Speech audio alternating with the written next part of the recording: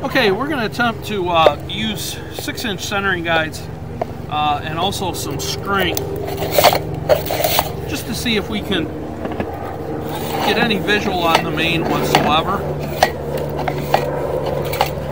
Again, this is the 4-inch PVC clean out for the apartments and you're going to see here uh, this is the Fernco where we change over to the 6-inch clay. And you can see this is where we lead uh, into the main sewer.